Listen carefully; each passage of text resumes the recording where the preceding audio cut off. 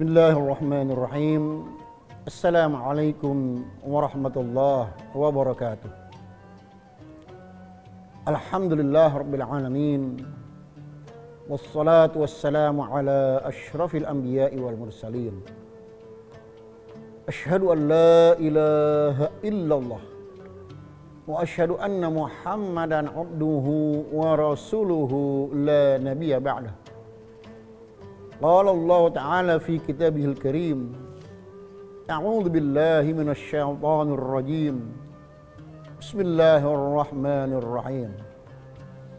قل إنني هداني ربي إلى صراط مستقيم. دينا قيما ملة إبراهيم حنيفا وما كان من المشركين. Qul inna salati wa nusuki wa mahyaya wa mamati lillahi rabbil alamin la syarika lahu wa bidzalika umirtu wa ana awwalul muslimin sadaqallahul azim amma ba'du Para pemirsa TV One yang dimuliakan Allah Subhanahu wa taala. Alhamdulillah kita bersyukur kepada Allah Subhanahu wa taala dengan segala nikmat karunia yang Allah berikan kepada kita sekalian. Nikmat keimanan, nikmat kesehatan dan berbagai macam kemudahan yang Allah berikan kepada kita semua. Patut kita syukuri bukan hanya sekedar itu adalah kewajiban antara kita terhadap Allah, namun mensyukuri nikmat Allah adalah kebaikan bagi jiwa kita, bagi pribadi kita, ketenangan batin kita dengan bersyukur kepada Allah Subhanahu wa taala. Salawat dan salam semoga tetap tercurah kepada nabi kita, Nabi besar Muhammad sallallahu alaihi wasallam. Pemirsa TV One yang dirahmati Allah Subhanahu wa taala. Ada satu prestasi yang tinggi di hadapan Allah Subhanahu wa taala yang ada pada diri orang yang beriman adalah manakala dia sudah bisa sholat yang betul-betul karena Allah, beribadah yang betul-betul karena Allah, bahkan melaksanakan aktivitas kehidupan sesuai dengan tuntunan Allah, persiapan kematian juga mengikuti tuntunan Allah Subhanahu wa taala. Dalam perjalanan kehidupannya dia menjadi orang yang selalu pasrah dengan ketentuan Allah Subhanahu wa taala. Inilah prestasi tinggi seorang muslim yang beriman kepada Allah Subhanahu wa taala. Namun untuk mengarah ke arah sana dengan prestasi tinggi di hadapan Allah Subhanahu wa taala tentu tidaklah mudah. Karena setan selalu datang menggoda pada saat kita sholat, pada saat kita beribadah, pada saat kita melaksanakan aktivitas kehidupan. Bahkan terkadang pada saat seseorang akan meninggal dunia pun setan selalu datang menggoda Mudah-mudahan Allah lindungi kita dari itu semua. Pemirsa TV One yang dirahmati Allah Subhanahu wa taala. Ada beberapa langkah di antara sekian banyak tuntunan yang harus kita lakukan dalam rangka menjadi hamba Allah yang terbaik, salat yang terbaik, ibadah yang terbaik, aktivitas kehidupan yang terbaik, persiapan kematian juga yang terbaik. Di antaranya adalah hadani rabbi. Secara bahasa, hadani rabbi itu berarti Allah memberi hidayah kepadaku.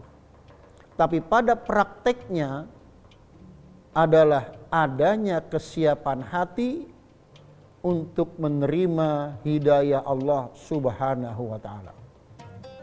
Mengapa kita perlu hidayah Allah dalam realitas kehidupan ini? Pemirsa TV One yang dirahmati Allah Subhanahu wa taala, satu hal di antara hal yang perlu kita yakini sebagai suatu keimanan adalah hidup hidup dan kehidupan ini bukan milik kita. Hidup dan kehidupan ini milik Allah Subhanahu wa taala. Alladzi khalaqal mauta wal hayat. Allah yang menciptakan kematian. Allah yang menciptakan kehidupan liyabluwakum ayyukum ahsanu amala. Untuk menguji kalian siapa di antara kalian yang betul-betul beriman dan melakukan amal yang terbaik. Pemirsa yang dirahmati Allah Subhanahu wa taala, menuju amal yang terbaik, jalan yang terbaik adalah membuka pintu hati untuk menerima hidayah Allah Subhanahu wa taala. Banyak di antara kita yang meminta hidayah kepada Allah. Malam hari dia salat tahajud minta hidayah kepada Allah. Subuh, zuhur, asar, maghrib, isya dan momen-momen yang lainnya dia minta hidayah kepada Allah Subhanahu wa taala. Tapi sayang, sungguh sayang. Ketika Allah beri hidayah melalui suatu peristiwa, melalui suatu pengajian, melalui suatu perintah, melalui suatu larangan, dia tolak hidayah itu. Kalau ada orang yang semacam itu maka selamanya dia akan tidak akan dia dapati hidayah Allah Subhanahu wa taala. Kenapa? karena lisannya berkata, ihdinas siratal mustaqim. Ya Allah, tunjukilah kami jalan yang lurus. Tapi ketika hidayah itu datang, disampaikan oleh Allah melalui lisan manusia, melalui satu peristiwa, apakah peristiwa alam yang terjadi? Dia tidak jadikan itu sebagai wasilah hidayah Allah Subhanahu wa taala. Maka pemirsa TV One yang dirahmati Allah Subhanahu wa taala, orang yang meminta hidayah kepada Allah Subhanahu wa taala belum tentu dia siap menerima hidayah Allah Subhanahu wa taala. Maka saya katakan untuk menjadi muslim dengan prestasi yang terbaik karena Allah Subhanahu wa taala kita mulai buka pintu hati kita untuk menerima hidayah Allah Subhanahu wa taala. Karena kita perlu hidayah Allah dalam kehidupan ini. Kita bukan orang yang lebih mengerti tentang kehidupan. Kita bukan makhluk yang maha tahu tentang kehidupan. Siapa yang maha tahu tentang kehidupan? Tidak lain pencipta kehidupan itu sendiri. Dialah Allah Subhanahu wa taala.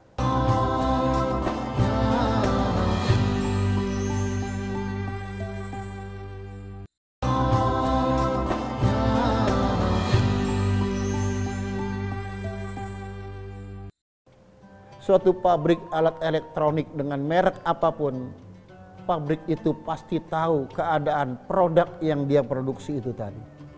Manusia adalah produk Allah Subhanahu wa taala. Alam semesta ini adalah produk Allah Subhanahu wa taala.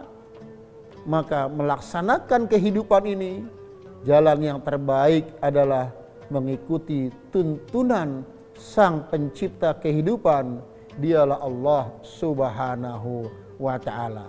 Buka pintu hati, hidayah akan datang. Buka pintu hati, perbaikan akan datang. Buka pintu hati, sifat istiqomah akan datang. Buka pintu hati, segala kebaikan akan mudah dilaksanakan. Buka pintu hati, insya Allah husnul khotimah akan kita dapati. Amin ya rabbal amin. Pemirsa yang dirahmati Allah Subhanahu wa taala. Yang kedua, adalah kesiapan untuk melaksanakan petunjuk itu sendiri. Siratal mustaqim, yaitu jalan yang lurus. Di awal tadi sudah saya sampaikan, untuk bisa melaksanakan kehidupan ini dengan benar adalah mendapatkan petunjuk dari pencipta kehidupan ini. Setelah kita siap secara mental menerima petunjuk Allah Subhanahu wa taala, maka kita siapkan pula perbaikan-perbaikan dalam diri kita. Itulah jalan menuju siratal mustaqim, jalan yang lurus. Dalam satu kitab tafsir disebutkan siratal ladzi la i'wijaja fihi wa huwal Islam. Jalan yang tidak ada penyimpangan di dalamnya itulah jalan Islam. Jadi Jalan yang lurus adalah jalan yang Allah berikan. Jalan yang lurus adalah jalan Islam. Inna hadza sirati mustaqima fattabi'uhu. Inilah jalanku yang lurus kata Allah Subhanahu wa taala. Fattabi'uhu, ikutilah. Para pemirsa yang dirahmati Allah Subhanahu wa taala. Bagaimana kita melaksanakan petunjuk Allah Subhanahu wa taala? Hidayah Allah dalam kehidupan dinang qiyamah selalu berpedoman. Pemirsa yang dirahmati Allah Subhanahu wa taala, ada kalanya kita bingung menghadapi suatu masalah dalam kehidupan. Ada kalanya kita mengalami kebuntuan dalam melaksanakan kehidupan. Demikian pula satu perbuatan yang rutin kita lakukan, tapi terkadang kita bingung juga ketika menghadapi masalah. Karena itu, jalan yang terbaik adalah selalu memiliki pedoman sebagai petunjuk teknis, sebagai petunjuk pelaksanaan dalam kehidupan ini. Suatu produk elektronik yang diproduksi oleh pabriknya, maka pabriknya memberikan buku petunjuk bagaimana mengaktifkan, bagaimana menonaktifkan, dan bagaimana menyelesaikan ketika ada masalah. Manusia ciptaan Allah Allah ciptakan Al-Quran sebagai petunjuk bagi manusia dalam melaksanakan kehidupan.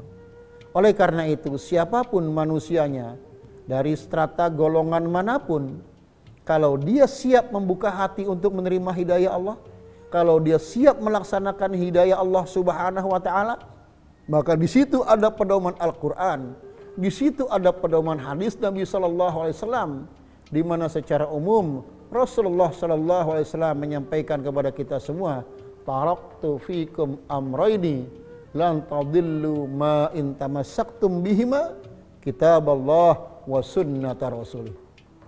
Rasulullah mengatakan, aku tinggalkan kepada kalian dua pedoman yang kalian tidak akan sesat dalam kehidupan kalian. Dalam urusan pribadi kalian tidak akan tersesat. Dalam urusan rumah tangga kalian tidak akan tersesat dalam kehidupan komunitas dan jamaah kalian, bermasyarakat, berbangsa tidak akan sesat ma intamasaktum bihima jika kalian berpedoman kepada Al-Qur'an dan hadis Nabi Shallallahu alaihi wasallam dan itu sangat diperlukan kesiapan batin kita untuk berpedoman kepada Al-Qur'an, berpedoman kepada hadis Nabi Shallallahu alaihi wasallam. Siapa pun dalam urusan apa pun ketika dia berpedoman pada petunjuk yang benar, maka pasti dia akan bisa menghadapi kehidupan dengan benar. Dia akan bisa menyelesaikan urusan kehidupannya dengan benar karena ada pedoman yang membimbing dia untuk menyelesaikan segala permasalahan. Dan pedoman umat Islam adalah Al-Quran dan hadis Nabi Sallallahu Alaihi Wasallam. Selanjutnya, bagaimana kita melaksanakan pedoman itu? Kita perlu uswah, kita perlu kudwah, yaitu apa? Contoh. Saya, bapak, saudara sekalian bisa menjadi baik? Belum tentu, karena kita memang orang baik. Tapi kita bisa menjadi baik karena ada orang yang lebih dulu baik sebelum kita. Nah, orang yang lebih dulu baik sebelum kita, itulah yang menjadi contoh kita. Maka menyontoh dalam kehidupan adalah sesuatu yang penting untuk kebaikan. Meniru yang lebih baik dalam kehidupan adalah lebih baik. Maka saya selalu sampaikan kepada para jamaah di setiap momen pengajiankah itu, kajian-kajian dan lain sebagainya. Silahkan Anda meniru seorang ustadz dengan segala perilaku kebaikannya. Tapi ketika ada ustadz yang lebih baik, silahkan tiru ustadz yang lebih baik lagi. Ada lagi ustadz yang lebih baik, silahkan tiru yang lebih baik lagi. Kenapa? Karena kita semua ingin lebih baik dalam kehidupan ini. Hadirin para pemirsa TV One yang dirahmati Allah Subhanahu wa taala kita perlu contoh dalam kehidupan. Perlu contoh dalam kehidupan itu baik, tapi ada yang lebih baik yaitu menjadi contoh dalam kebaikan. Dalam rumah tangga, suami bisa menjadi contoh dalam kebaikan, istri bisa menjadi contoh anak-anak dalam keseharian, dan di tengah-tengah kehidupan, kepala wilayah menjadi motivasi kebaikan, contoh kebaikan, dan kalau semua itu saling memberi contoh, akan terjadi suatu keadaan yang disebut dengan fastabiqul khairat berlomba-lomba dalam kebaikan. Ya. Ketika suasana berlomba menuju kebaikan itu terjadi, maka seakan tidak ada celah yang jelek. Kenapa? Karena setiap orang berlomba untuk menuju kebaikan. Dalam rumah tangga, istri berlomba dengan suami menuju kebaikan. Dalam organisasi, dari struktur atas sampai bawah, semua berlomba menuju kebaikan. Maka kebaikan itu akan tercipta lebih daripada itu, kita bermasyarakat, berbangsa, bernegara, kalau semuanya beraktivitas memberi contoh kebaikan, maka bangsa ini akan melihat perlombaan kebaikan dalam setiap harinya. Subhanallah.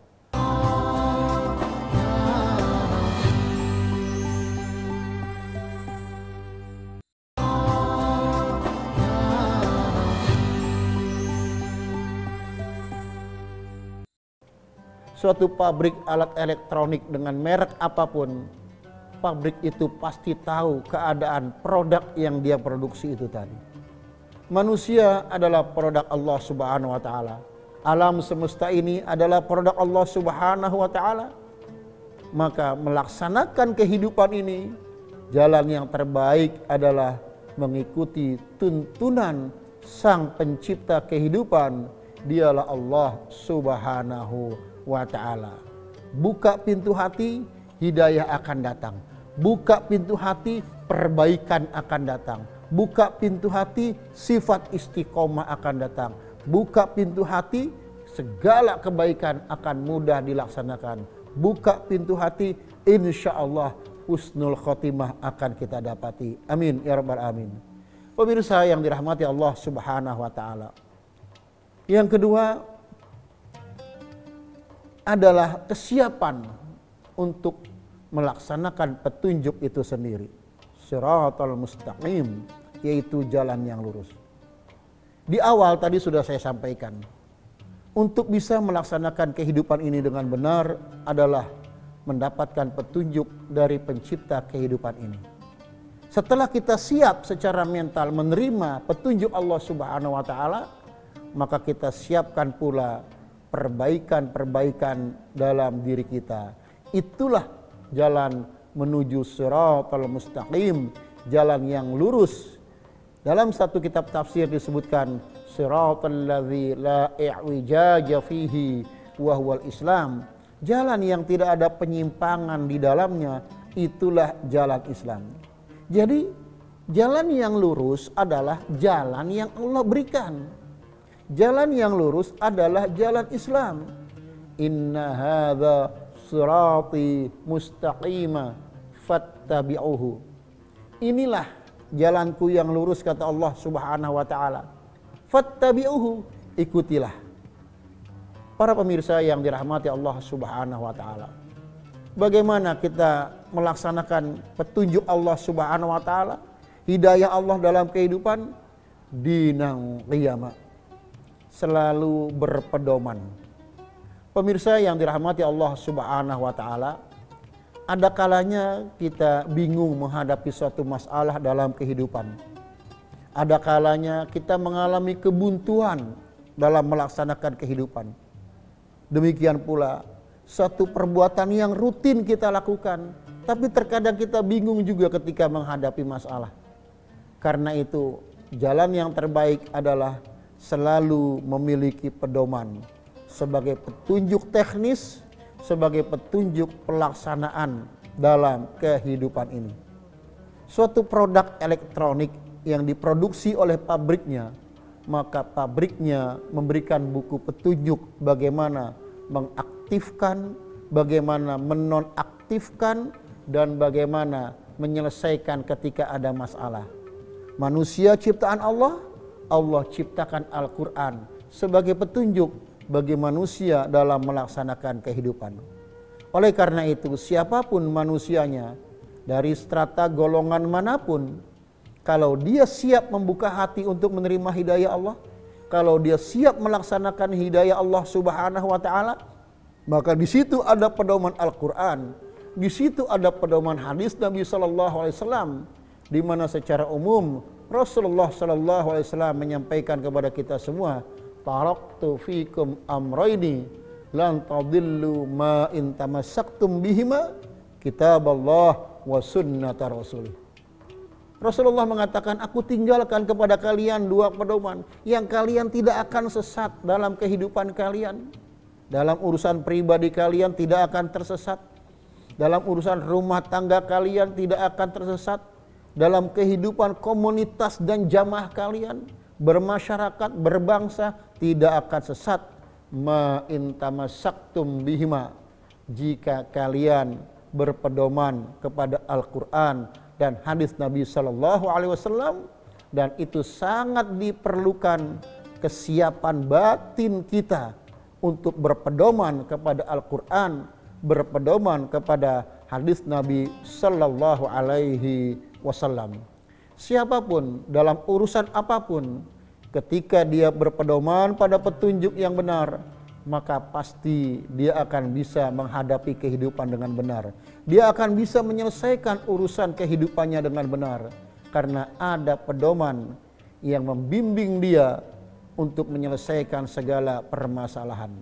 Dan pedoman umat Islam adalah Al-Qur'an dan hadis Nabi sallallahu alaihi wasallam.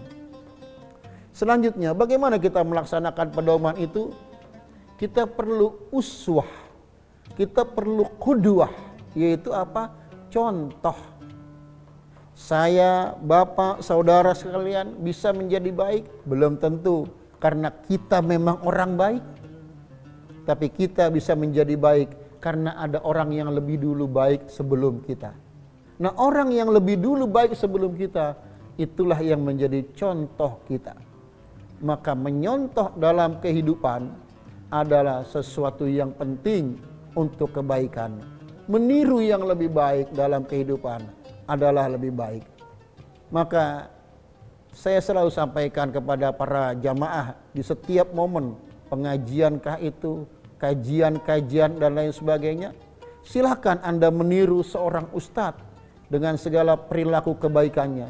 Tapi ketika ada ustadz yang lebih baik, silakan tiru ustadz yang lebih baik lagi.